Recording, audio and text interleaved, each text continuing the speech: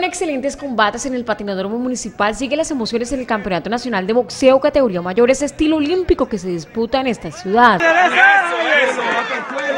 Este miércoles en la noche se disputaron las primeras peleas en la ronda semifinal donde Haider Orozco del César perdió por nocaut ante Jason Vargas de Bolívar en los 52 kilogramos.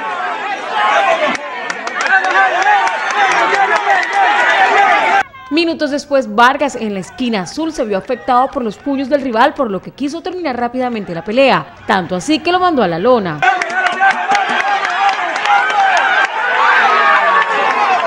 Minutos antes, el César había ganado con Walter Blanco en los 69 kilogramos, al derrotar por nocaut técnico a Giovanni Barraza del Atlántico.